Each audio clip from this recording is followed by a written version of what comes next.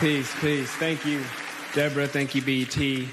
Uh, thank you, Nate Parker, Harry, um, and, and, Debbie Allen uh, for participating in that. Um, before we get into it, I just want to say, you know, I brought my parents out tonight. I just want to thank them uh, for being here, for teaching me um, to focus on comprehension over career, that uh, they make sure I learn what the schools were afraid to teach us, and also to thank my amazing wife for changing my life.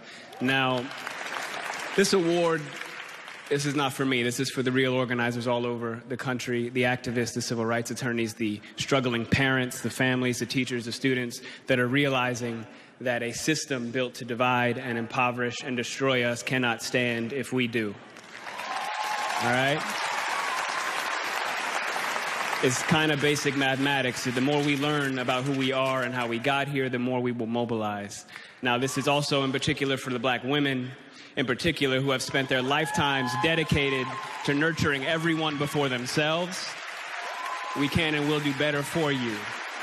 Now,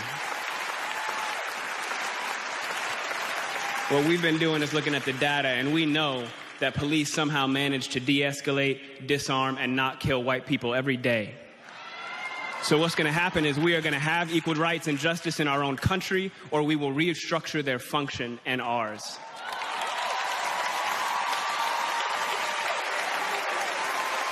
Now,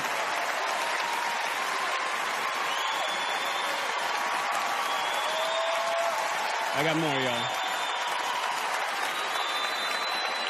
Yesterday would have been young Tamir Rice's 14th birthday.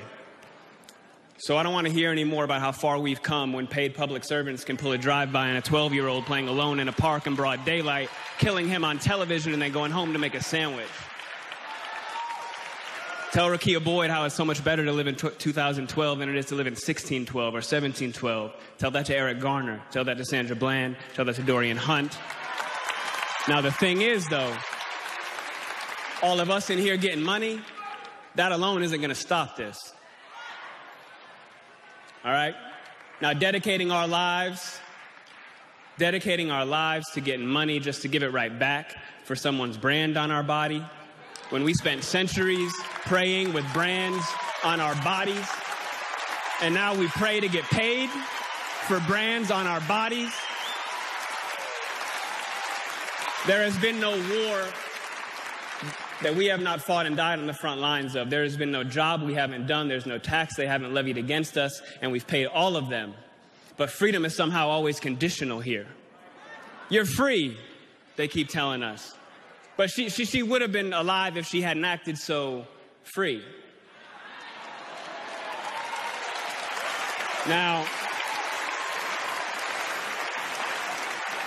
freedom is always coming in the hereafter. But you know what, though? The hereafter is a hustle. We want it now. And let's get, let's get a couple things straight. Just a little side note. The burden of the brutalized is not to comfort the bystander. That's not our job. All right, stop with all that. If you have a critique for the resistance, for our resistance, then you better have an established record of critique of our oppression. If you have no interest, if you have no interest in equal rights for black people, then do not make suggestions to those who do. Sit down.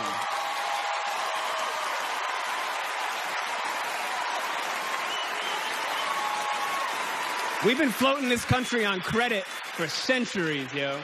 And we're done watching and waiting while this invention called whiteness uses and abuses us, burying black people out of sight and out of mind while extracting our culture, our dollars, our entertainment like oil, black gold, ghettoizing and demeaning our creations, then stealing them, gentrifying our genius, and then trying us on like costumes before discarding our bodies like rinds of strange fruit. The thing is, though, the thing is that just because we're magic doesn't mean we're not real. Thank you.